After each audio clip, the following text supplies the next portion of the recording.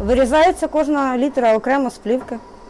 Поки принтер друкує чергову партію написів, на столі вже готова продукція чекає на своїх замовників. Кропивничани почали активно замовляти наліпки з патріотичною символікою та актуальними гаслами. Ну, спочатку почали дзвонити знайомі і е, з запитом на легендарну фразу наших моряків зроби футболку. Потім почали вже телефонувати і говорити: а я хочу Бандеромобіль, а я хочу е, фразу Шевченка. Так от люди самі дають ідеї, що вони хочуть, як вони це бачать. А наше діло маленьке, тільки виконати його і втілити в життя.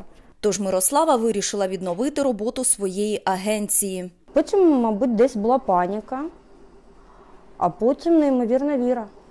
Віра в Бога, віра в Збройні Сили України. Символічні наліпки для автівок жінка продає. Всі виручені кошти спрямовує на армію. Гроші йдуть на Збройні Сили України. Слава Україні! Героям слава!